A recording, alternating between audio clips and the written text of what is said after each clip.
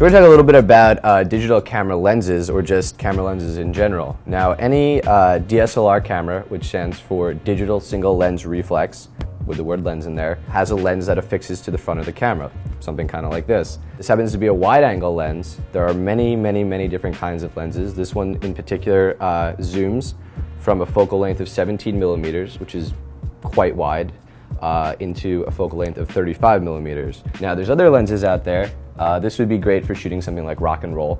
Um, this, on the other hand, is a 70 to 200 millimeter lens, and this is better for stuff like fast action sports, uh, football. Um, now, not all lenses zoom like the two I just showed you. This one over here uh, is just a fixed focal 85 millimeter lens, really good for portrait photography. So this vast number of lenses uh, gives you a lot of options in terms of what you're shooting to get the kind of look that you want. This is going to be a nice tight crop uh, with no distortion, whereas this wide angle lens is going to have a lot of distortion, but you're going to get a lot of uh, a lot in the frame. So, like I said, all digital SLR cameras uh, need a lens to take pictures. Otherwise, you just have a mirror and a sensor in there. Simply take your lens, remove the caps, and attach it on. And that's one of the nice uh, things about digital photography with an SLR is you can switch your lenses out.